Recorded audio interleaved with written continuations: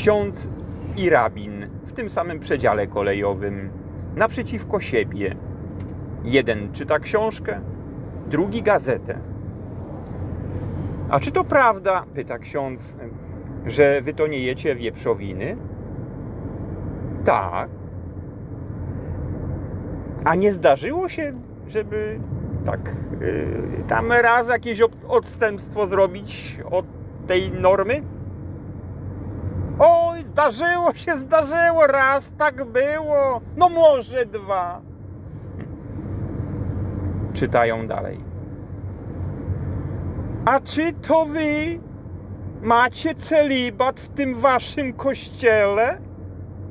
Tak. Czyli bez kobiet? Żadnego życia seksualnego? No tak. A czasami coś tam na boku nie było? No, zdarzyło się, było, no. Pamiętam dobrze, jak dziś. Mhm. Czytają dalej. I co?